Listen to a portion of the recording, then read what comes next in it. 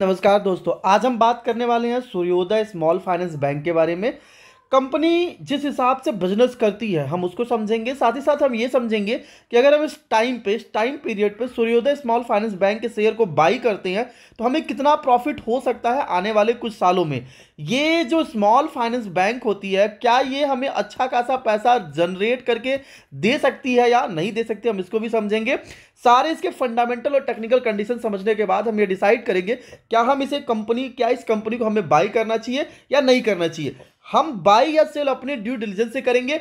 आप अपने due delusion से किसी शेयर को बाई या सेल करेंगे। यहाँ से केवल लर्निंग लेना है, सीखना है, समझना है, सीख समझ के पैसे को कमाना है इन्वेस्ट करना अर्न करना है। तो चलिए हम देखते हैं small finance bank Suryoday small finance bank company जितनी भी स्मॉल फाइनेंस बैंक इस टाइम पे है? आप ये नोटिस कर रहे होंगे कि इस टाइम पे जो फिक्स डिपॉजिट दे रही है आप देखिए 9.6 परसेंट का फिक्स डिपॉजिट है। इतना फिक्स डिपॉजिट सीनियर सिटीजन के लिए है, लेकिन आम व्यक्ति के लिए भी ये 9 परसेंट से कम नहीं होगा। तो अगर 9 परसेंट का कोई कंपनी फिक्स डिपॉजिट कोई बैंक फिक्स डिपॉजिट दे रहा है, इसका मतलब है कि वो इससे ज़्यादा पैसा अर्न कर रहा होगा। यानी वो इंटरेस्ट पे जो इंटरेस्ट लोगों को दे रहा है, जो लोन लोगों को दे रहा है, उससे ज़्यादा पैसा अर्न कर रहा है, तभी तो वो नाइन परसेंट का फिक्स डिपॉजिट दे पा रहा है। तो कंपनी बिज़नेस अच्छा कर रही है और इस टाइम पे जितनी भी स्मॉल फाइनेंस बैंक अपने आप को ग्रो करने के लिए, चाहे इक्विटास स्मॉल फाइनेंस बैंक हो गया, चाहे उज्जीवन स्मॉल फाइनेंस बैंक हो गया, चाहे सूर्योदय स्मॉल फाइनेंस बैंक का सभी कंपनियाँ अच्छे तरीके से ग्रो करते हुए देखने को मिल रही है। साथ ही साथ, इस कंपनी को अगर हम यहाँ पे देखें, यहाँ पे कट करें तो ये इसके वेबसाइट पे आए हैं। कंपनी छोटे लोन देती है स्मॉल टाइप्स के लोन देती है। जैसे अगर कोई मान लेते हैं, आप किसी एक जगह पे रहते हैं, आप एक प्लेस से दूसरे प्लेस पे जाते हैं, यहाँ से आप क्या किए, यहाँ पे चले आए। तो अगर यहाँ पे चले आए तो आपके जो छोटे व्यापारी है या छोटे लोग हैं, जैसे कोई रिक्शा चलाने वाला व्यक्ति है कोई छोटा मोटा पान उनका दुकान खोला हुआ है तो उसको पैसे की ज़रूरत पड़ेगी नई जगह दुकान लगाना पड़ेगा तो इन बैंक के पास जाएगा, एक लाख, दो लाख रुपए का यहाँ से क्या कर लेगा, लोन ले लेगा, और उस लोन से अपने दुकान चलाएगा, और धीरे धीरे पर मंथ अपनी कमाई से इंटरेस्ट को क्या करेगा, पे करेगा। जनरली स्मॉल फाइनेंस बैंक का जो बिज़नेस है, वो अच्छा खासा इंटरेस्ट चार्ज करती हैं। आप नोटिस करेंगे कि इनकी जो इंटरेस्ट चार्ज होता है, वो थर्टी परसेंट तक भी हो जाता है। यानी अगर किसी कोई कंपनी कोई business thirty thirty four percent तक इंटरेस्ट चार्ज कर सकता है तो वो कितना अच्छे तरीके से ग्रो हो सकता है अगर वो अपने पैसे को सही तरीके से डिस्ट्रीब्यूट करे। दूसरा कंडीशन ये स्मॉल टिकट साइज़ के लोन देते हैं। एक लाख, दो लाख, पच्चीस हज़ार रुपए, पचास हज़ार रुपए, इतने तक का लोन देते हैं। तो होता क्या है, इसके डूबने के चांसेस भी बहुत कम होते हैं। और अगर किसी वजह से, क्योंकि पच्चीस हज़ार लेकर कोई भागेगा नहीं, भागने वाले बहुत बड़े पैसे वाले लोग होते हैं जो पाँच करोड़, पाँच सौ करोड़, दस हज़ार करोड़ लेकर लेते हैं, वो भागते हैं। हज़ार पचास हज़ार, पच्चीस हज़ार, साठ, पच्चीस पचास हज़ार लोग लेकर भागते नहीं है। तो जनरली इन कंपनी का जो बिज़नेस है इस बैंकों का जो बिज़नेस है, वो बहुत अच्छे तरीके से ग्रो करता रहता है। अगर हम इस कंपनी के फंडामेंटल देखें तो कंपनी केवल 1400 करोड़ की है, यानी इसके जो ग्रोइंग के चांसेस है वो बहुत ज़्यादा है। ये कंपनी अभी केवल एक स्मॉल माइक्रो कैप की कंपनी है। अगर कंपनी यहाँ से 10 टाइम्स 20 टाइम्स 100 टाइम्स भी ग्रो होने के चांसेस रखती है, क्योंकि अगर हम स्मॉल फाइनेंस बैंक में, एक मैं आपको बैंक दिखाता हूँ। यहाँ पे हमने सूर्योदय स्मॉल फाइनेंस बैंक रखा हुआ है। यहाँ पे मैं सर्च करता हूँ स्क्रीनर पे जाता हूँ और एक स्मॉल फाइनेंस बैंक में मैं इक्वटास डालता हूँ। तो अभी देखिए इक्वटास स्मॉल फाइनेंस बैंक का जो मार्केट कैप है वो कितना है? नौ हज़ार करोड़ रुपए है। और यहाँ से भी ये कंपनी ग्रो कर रही है। इसका अगर आप चार्ट देखेंगे तो अच्छा खासा कंपनी ग्रो करते हुए देखने को मिल रही है। बेहतरीन तरीके से बिज़नेस कर रही है। तो क्या सूर्योदय स्मॉल फाइनेंस बैंक अच्छा बिज़नेस नहीं करेगी? बिल्कुल करेगी। और 9000 करोड़ की कंपनी होने के बाद भी कंपनी का पी पंद्रह का है। और यहाँ पे केवल हज़ार करोड़ का मार्केट कैप होने के बाद कंपनी का पी केवल अट्ठारह का आप समझ सकते हैं कि कंपनी का पी बहुत सस्ता यानी छोटी कंपनी का पी महँगा होता है, लेकिन यहाँ पे सस्ते वैल्यूएशन पे देखने को मिल रहा है। मैं एक आपको यहाँ पे एक और स्मॉल कैप की जो कंपनी है स्मॉल फाइनेंस कंपनी है, उसको बात करता हूँ। A U small finance bank अब A U small finance bank जो है, ये भी एक स्मॉल फाइनेंस बैंक है। इस कंपनी का मार्केट कैप आप देखिए कितना है। अगर इस कंपनी का मार्केट कैप देख रहे हैं तो यहाँ पे कंपनी का मार्केट कैप है पचास हज़ार करोड़ का। कंपनी पचास हज़ार करोड़ की है। मैं कहता हूँ कि जो A U small finance bank है और सूर्योदय स्मॉल फाइनेंस बैंक है, इन दोनों के डाटा को आप देखिए। अगर हम यहाँ पे डाटा पे आते हैं और इनके रिज़ल्ट देखते हैं तो कंपनी का रिज़ल्ट मार्च 2023 में कितना आया है? हज़ार करोड़ का कंपनी ने बिज़नेस किया है। हज़ार करोड़ कंपनी का मार्केट कैप ही है। आप देखिए ना, कंपनी का मार्केट कैप ही चौदह सौ करोड़ है। चौदह सौ करोड़ का कोई कंपनी है, किसी का पूरा मार्केट कैप है और वो लगभग हज़ार करोड़ की बिज़नेस कर रही है। क्या ऐसा एयू स्मॉल फाइनेंस बैंक के साथ है? एयू स्मॉल फाइनेंस बैंक का मार्केट कैप है पचास हज़ार करोड़। क्या मार्च 23 में कंपनी ने पचास हज़ार करोड़ का बिज़नेस किया है? अगर हम यहाँ से समझे तो क्या कंपनी ने, अगर मान लेते हैं, हम ऐसे ही जोड़ लेते हैं, आठ हज़ार, पाँच हज़ार, चार हज़ार चार हज़ार। अगर हम यही सारे क्वार्टर्स को जोड़ लेते हैं यहाँ पे, मार्च 2023 आ गया, ठीक है। आठ हज़ार करोड़ का यहाँ पे हमको बिज़नेस देखने को मिल रहा है। केवल आठ हज़ार करोड़ के बिज़नेस पे अब समझिएगा आठ हज़ार करोड़ के बिज़नेस पे इस कंपनी को मार्केट कैप कितने का मिला हुआ है? इस मार्क इस कंपनी को मार्केट कैप मिला है पचास हज़ार करोड़ का। यहाँ पे ये चीज़ आप समझ पा रहे हैं कि नहीं समझ पा रहे हैं कि कंपनी क्वार्टरली केवल 2000 करोड़ का बिज़नेस करती है, जिसमें कंपनी प्रॉफिट तो अच्छा खासा है 400 करोड़ का प्रॉफिट है, लेकिन मैं ये कह रहा हूँ मार्केट कैप क्या रेवेन्यू कितना है? तो 2000 करोड़ का केवल कंपनी बिज़नेस करती है 2000 करोड़ के पर क्वार्टर या 8000 करोड़ के पर ईयर के बिज़नेस पे कंपनी को मार्केट कैप मिला हुआ है पचास करोड़ का। इक्वटास का, आइए देखते हैं हम इक्वटास का क्या बिज़नेस है। इक्विटास 9000 करोड़ का है और कंपनी का क्वार्टरली रिज़ल्ट अगर हम लोग देखें तो हज़ार करोड़ का मार्च में इसका रिज़ल्ट आया हुआ है रिवेन्यू आया हुआ है, जिसमें कंपनी 190 करोड़ का नेट प्रॉफिट जनरेट करी। हम नेट प्रॉफिट की बाद में बात करेंगे, ठीक है? अभी हम केवल रेवेन्यू की बात करते हैं। तो एक हज़ार एक सौ छप्पन करोड़ का केवल कंपनी का मार्च क्वार्टर का जो डाटा निकल के आ रहा है, अगर हम यहाँ पे ईयरली देख ले तो चार हज़ार करोड़ या क्वार्टरली देखें तो हज़ार करोड़ का कंपनी ने बिज़नेस किया है। हज़ार करोड़ की रिवेन्यू पे कंपनी को मार्केट कैप कितना मिला है? नौ हज़ार करोड़ का नाइन टाइम्स और स्मॉल फाइनेंस बैंक सूर्योदय का जरा देखिए। सूर्योदय के साथ क्या है? सूर्योदय कितना बिज़नेस कर रहा है? तो सूर्योदय हज़ार करोड़ का ईयरली बिज़नेस कर रहा है। और वहाँ पे हज़ार करोड़ का क्या है? अगर यहाँ पे यहाँ पे हज़ार करोड़ का ये ईयरली बिज़नेस है और उसमें हज़ार करोड़ का बिज़नेस कैसा था? क्वार्टरली था। तो अगर हम मानेंगे तो चार हज़ार करोड़ हुआ। चार हज़ार करोड़ का ईयरली बिज़नेस में उसको मार्केट कैप नौ हज़ार का मिला है। इस हिसाब से हज़ार करोड़ के बिज़नेस पेस पे इस कंपनी को मार्केट कैप तीन हज़ार करोड़ का मिलना चाहिए। आपके हिसाब से तो तीन हज़ार करोड़ का। अभी मार्केट कैप कितना है? केवल हज़ार करोड़ है। तो यहाँ से इसका market cap three times five times होते देर नहीं लगेगी। मैं आपको यह समझाना चाह रहा हूँ। एयू स्मॉल फाइनेंस का बैंक देखिए, कंपनी पचास हज़ार करोड़ का है। कंपनी का मार्केट कैप पचास हज़ार करोड़ है और कंपनी क्वार्टरली, अगर हम क्वार्टरली बात करें तो दो हज़ार करोड़ का बिज़नेस करता है। अब अगर हम आते जरा इसे कंपेयर करते हैं कि सूर्योदय स्मॉल फाइनेंस बैंक अभी ईयरली केवल हज़ार करोड़ का बिज़नेस करता है। तो एयू स्मॉल फाइनेंस बैंक कब हज़ार करोड़ का बिज़नेस करता था? अगर हम इसको खोजे कि एयू स्मॉल फाइनेंस बैंक कब हज़ार करोड़ का बिज़नेस करता था तो ये निकल के आ रहा है मार्च 2016 में। मार्च 2016 में कंपनी हज़ार करोड़ का बिज़नेस करती थी, जो आज हमारा सूर्योदय स्मॉल फाइनेंस बैंक बिज़नेस कर रहा है। तो 16 से कितना टाइम हुआ? चार साल उधर, तीन साल उधर, यानी कितने टाइम्स हुए? सात साल। सात साल में। इस कंपनी का बिज़नेस, अगर इस टाइम पे कंपनी का मार्केट कैप केवल हज़ार करोड़ का है तो यहाँ से सात साल में पचास गुना का प्रॉफिट होना चाहिए कि नहीं होना चाहिए मार्केट कैप में? तो सूर्योदय स्मॉल फाइनेंस के पास जो ग्रोथ के चांसेस है, वो बहुत ज़्यादा है। बस मैं आपको ये समझाना चाह रहा हूँ कि जो सूर्योदय स्मॉल फाइनेंस बैंक है इस कंपनी के जो ग्रोथ के चांसेस हैं, वो यहाँ से बहुत ज़्यादा है। कंपनी हज़ार करोड़ से दस हज़ार करोड़ और वहाँ से ये कंपनी पचास हज़ार करोड़ तक जाने का मादा रखता है, जितना ये एयू स्मॉल फाइनेंस बैंक है। और इतना जाने में कितना टाइम लगेगा, इतना बिज़नेस करने में कितना टाइम लगना चाहिए? तो यहाँ से बिज़नेस करने में मैं कहता हूँ दस साल लग जाते हैं। चलिए दस साल ही लग जाते हैं सूर्योदय स्मॉल फाइनेंस बैंक को हज़ार करोड़ से पचास हज़ार करोड़ तक बनने में। तो कितने गुने का प्रॉफिट है? कितने गुने मार्केट कैप की प्रॉफिट है? तो यहाँ से पचास हज़ार करोड़ बनने में पचास गुने की प्रॉफिट है। मैं कहता हूँ पचास हज़ार करोड़ का मार्केट कैप नहीं होता है। पच्चीस हज़ार करोड़ का ही मार्केट कैप हो जाता है। तो कितने का प्रॉफिट है यहाँ से? ट्वेंटी फाइव टाइम्स का प्रॉफिट है। 25 टाइम्स कंपनी ग्रो होते हुए देखने को मिलेगी।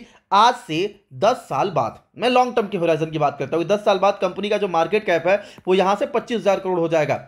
अगर किसी कंपनी का मार्केट कैप ही यहाँ से बढ़ के कितने टाइम्स 25 टाइम्स बढ़ जाता है तो उस कंपनी का शेयर यहाँ से 100 टाइम्स बढ़ने में देरी नहीं लगेगी। ये चीज़ आप समझिएगा। यहाँ से जो मार्केट कैप अगर यहाँ से 25 गुना बढ़ता है तो आप समझिए कि शेयर प्राइस यहाँ से 75 गुना बढ़ते हुए लग जाएगा 100 टाइम्स बढ़ जाएगा। तो आपको जो ये कंपनी का शेयर प्राइस 136 का दिख रहा है, ये आपको तेरह हज़ार छह सौ का भी देखने में, देखने को मिल सकता है आने वाले दस सालों के बाद। अब होगा क्या उसमें कंपनी अपने आप को स्प्लिट कर देगी, और साथ ही फेस वैल्यू जो टेन का है, वो फेस वैल्यू वन का हो जाएगा। तो जो तेरह हज़ार छह सौ का प्राइस है, वो एक हज़ार तीन सौ साठ का देखने को मिलेगा। लेकिन ऐसा होने के चांसेस हो सकते हैं। मैं कह, नहीं कह रहा हूँ कि हो ही जाएगा, लेकिन ऐसे होने के चांसेस हो सकते हैं। क्योंकि जिस हिसाब से कंपनी बिज़नेस कर रही है, जिस हिसाब से कंपनी का फंडामेंटल है, वो बहुत कुछ बयां करता है। अब देखिए जरा कंपनी का रोज कितना है? सिक्स पॉइंट एट ज़ीरो और आर कितना है? फाइव है। तो कंपनी लगातार अच्छा बिज़नेस कर रही है। अब रोस और आर की बात करेंगे तो कंपनी धीरे धीरे अपने बिज़नेस को बढ़ा रही है। अभी बहुत छोटी कंपनी है तो रोस और आर भी आपको थोड़ा कम देखने को मिलेगा। कंपनी के पास छह हज़ार करोड़ का कर्जा है। अब देखिए, कोई बिज़नेस जो बैंकिंग सेक्टर होता है, उसमें डेट को नहीं देखा जाता। क्यों नहीं देखा जाता? क्योंकि कंपनी कहीं से ना कहीं से लोन लेती है, जो ये आप बैंक में पैसा जमा करती हैं। वो भी इसका क्या आता है? कर्जा के रूप में ही माना जाता है। ठीक है? तो यहाँ से कंपनी के पास हज़ार करोड़ का कर्जा है तो कर्जा नहीं के बराबर मानना चाहिए, कर्जा कर्जा उनका बिज़नेस है। अब अगर हम इस कंपनी का चार्ट देखें तो कंपनी के जो लिस्टिंग प्राइस थी, यहाँ से हम आ जाते हैं इसके चार्ट पे। कंपनी का जो लिस्टिंग प्राइस था 2021 वाले टाइम पीरियड में था 2000 मार्च 2021 में तो उस टाइम पे कंपनी का जो शेयर प्राइस था, वो लगभग 300 के करीब था। कितना था? तीन सौ के करीब था। उसके बाद बहुत ह्यूज गिरावट देखने को मिला। वहाँ से अगर आप इस गिरावट को मेजर करेंगे तो वो गिरावट लगभग आता है seventy four seventy five percent का। तो कंपनी सेवेंटी फाइव परसेंट नीचे गिर जाती है और वहाँ से फिर ये कंपनी ग्रो होती है, ठीक है? तो इस टाइम पे जो बिज़नेस चल रहा था, मैं उसको कंपेयर करना चाहता हूँ। मार्च 2021 में किस कंपनी का बिज़नेस कैसा था? तो यहाँ पे हम आ जाते हैं ईयरली रिज़ल्ट पे। और ईयरली रिज़ल्ट पे हम देखते हैं मार्च 2021 में कंपनी का बिज़नेस कैसा था। तो मार्च 2020 2021 का अगर हम डाटा की बात करें इस टाइम के टाइम पीरियड की बात करें तो इस टाइम पे मार्च 2021 में कंपनी 700 करोड़ का बिज़नेस करती थी। उस 700 करोड़ पे कंपनी को फाइनेंशियल प्रॉफिट नहीं होता था लॉस होता था माइनस फोर्टी नाइन करोड़ का। लेकिन अदर इनकम की होने की वजह से 76 करोड़ का अदर इनकम था और इस सब चीज़ों की वजह से कंपनी 12 करोड़ का नेट प्रॉफिट जनरेट कर रही थी। मार्च 2022 में कंपनी 942 करोड़ का बिज़नेस की, जिसमें माइनस 200 करोड़ का इसको फाइनेंशियल प्रॉफिट हुआ, यानी लॉसेस ही हुआ, और टोटल 93 करोड़ का लॉस होता है। मार्च 2023 का क्वार्टर में देखेंगे, अगर हम इसका क्वार्टरली रिज़ल्ट भी देखें तो आपको बहुत कुछ देखने को मिलेगा। पूरे मार्च क्वार्टर में, जो जून 2022 सितंबर 2022 दिसंबर 2022 और मार्च 2024 तेईस। ये चारों क्वार्टर का अगर आप ध्यान से इसको कंपेयर करके समझने की कोशिश करेंगे, देखिए, कोई अच्छी वीडियो होती है तो उसमें टाइम लगता ही है। टाइम तो आपको लगाना ही पड़ेगा। कंपनी 200 करोड़ 200 करोड़ 200 300 करोड़, तीन सौ उनतीस करोड़ का बिज़नेस की कंपनी नेट प्रॉफिट में आठ करोड़, तेरह करोड़ अट्ठारह करोड़, थर्टी नाइन करोड़ का बिज़नेस की है। इन तीनों क्वार्टर में कंपनी फाइनेंशियल प्रॉफिट में नहीं थी। लेकिन जो मार्च 23 का रिज़ल्ट आया है, वो ये बता रहा है कि अब company fully financial profitable company बन चुकी है। अब यहाँ से इसकी जर्नी का ग्रोथ जो मिलेगा, वो रॉकेट की रफ्तार से यहाँ से आगे जाते हुए देखने को मिलेगा। और टोटल डाटा देखें तो कंपनी 78 करोड़ का नेट प्रॉफिट जनरेट की है। तो अगर कोई कंपनी 73 करोड़ का नेट प्रॉफिट जनरेट कर रही है, जबकि उससे पिछले क्वार्टर पिछले ईयर तक कंपनी लगातार लॉस जनरेट करते आ रही थी अभी यहाँ ये प्रॉफिट जनरेट कर रही है तो इसका मतलब है कि कंपनी में टर्न अराउंड हो रहा है। और ये टर्न अराउंड आपको हर जगह देखने को मिलेगा। दूसरी कंडीशन कंपनी का रिज़र्व देखिए। कुछ चीज़ें नोटिस करने लायक चीज़ें आपके सामने हम रखने वाले हैं। कंपनी का रिज़र्व मार्च क्वार्टर में मार्च 2022 में मार्च 2023 का भी डाटा नहीं है मार्च 2022 में ही कंपनी के पास 1300 करोड़ का रिज़र्व था। 1300 करोड़ का रिज़र्व कंपनी के पास होता है और कंपनी का मार्केट कैप केवल 1400 करोड़ है। अभी इस क्वार्टर का रिज़ल्ट आएगा रिज़र्व आएगा तो आप देखेंगे कि कंपनी के पास लगभग 1500 करोड़ का रिज़र्व होता है और कंपनी का मार्केट कैप केवल 1400 करोड़ है तो इसका मतलब है कि आपको एक सस्ते वैल्यूएशन में कंपनी देखने को मिल रही है, एक सस्ते वैल्यूएशन पे।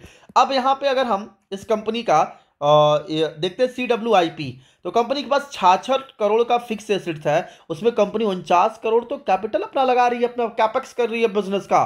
तो इसका मतलब है कि यहाँ कंपनी को ग्रोथ दिख रहा है, वो कंपनी एडवर्टाइजमेंट में पैसा खर्च कर रही है, ताकि उसको नए कस्टमर मिले। जब जब तक कंपनी को नए कस्टमर नहीं मिलेंगे तब तक बिज़नेस अच्छा हो नहीं सकता है। तो लगातार कंपनी अच्छा खासा आ, क्या कर रही है? कैपेक्स कर रही है और अच्छा खासा इन्वेस्टमेंट भी कर रही है। आप देखिए ना 2000 करोड़ 1800 800 600 300 500 चौरानवे करोड़ का इसका कंपनी का इन्वेस्टमेंट है। अब यहाँ से हम इस कंपनी के अगर हम शेयर होल्डिंग पैटर्न्स को देखें तो 28 परसेंट प्रमोटर होल्डिंग था वो यहाँ पे 28 है, यहाँ पे 23 परसेंट है। 9 परसेंट जो मार्च 2022 में एफ़ के पास था, वो घट के वन हो गया है और डी के पास अभी भी 20 परसेंट की होल्डिंग है। पब्लिक जो यहाँ पे दिखा रहा है 54 परसेंट तो 54 परसेंट पब्लिक के हाथ में नहीं है। यहाँ पे अगर आप शेयर होल्डिंग देखेंगे तो मैक्सिमम जो बड़े बड़े एच हैं, उनके हाथ में इसके शेयर्स पड़े हुए हैं। और धीरे धीरे आप ये नोटिस करेंगे कि जितने भी ये एफ़ आईज डी आईज या और एच है, ये धीरे धीरे पब्लिक से माल खरीदते जाएँगे और इनका बिज़नेस लगातार क्या होता रहेगा, ग्रो होता रहेगा। क्यों? क्योंकि फंडामेंटल स्ट्रॉन्ग कंपनी है। अब यहाँ से डरने वाली बात नहीं है कि केवल प्रमोटर्स के पास में जो शेयर होल्डिंग पैटर्न्स है, वो केवल और केवल ट्वेंटी थ्री परसेंट है, जो ट्वेंटी एट से। देखिए, ये माल बिका है तो वो एफ़ और डी और एचएनआई के हाथों में ही गया है। रिटेलर के हाथ में नहीं गया, इस चीज़ को भी समझने वाली बात है। और धीरे धीरे जब प्रमोटर्स को लगेगा कि नहीं, अब बिज़नेस अच्छा हो गया है तो उसके पास पैसे आएँगे तो वो इस माल को क्या करेगा? और खरीदेगा। इसमें कोई दिक्कत घबराने वाली बात नहीं है। अब हम इसके चार्ट को देखते हैं। तो कंपनी जो मार्च 2021 में 300 करोड़ रुपए 300 रुपए के प्राइस पे थी और उस टाइम पे कंपनी का बिज़नेस अगर आप देखेंगे, मार्च 2021 में तो निगेटिव था। मार्च 2021 में कंपनी 12 करोड़ का केवल नेट प्रॉफिट जनरेट कर रहा है तो वहाँ से नेट प्रॉफिट पाँच गुना हो गया है। छः गुना हो गया है। और यहाँ से सेल्स कितने टाइम्स बढ़ा है? तो सेल्स भी लगभग 50 60 परसेंट का सेल्स बढ़ गया है। तो 60 परसेंट सेल्स बढ़ा है नेट प्रॉफिट भी फाइव टाइम्स सिक्स टाइम्स हो गया है। लेकिन शेयर प्राइस आपको अभी भी यहाँ से अच्छा खासा डिस्काउंट पे देखने को मिल रहा है। और वो डिस्काउंट अभी भी कितना निकल के आता है? फिफ्टी का। यानी यहाँ से 55 परसेंट का डिस्काउंट देखने को मिल रहा है। दूसरी कंडीशन चार्ट में और क्या हो रहा है? वो चीज़ अगर हम सीखेंगे तो बहुत कुछ सीखने को मिलेगा हमको। यहाँ पे हम मंथली चार्ट लगाते हैं और मंथली चार्ट पे एक, सॉरी, वीकली चार्ट लगाते हैं और वीकली चार्ट पे आपको एक चीज़ नोटिस देखने को मिलेगा कि जो कंपनी का हॉर्डल था, ये जो शेयर प्राइस का हॉर्डल था, इसको कंपनी ने ब्रेक कर दिया है। और ये हॉर्डल था कितने का? ये हर्डल था एक सौ का।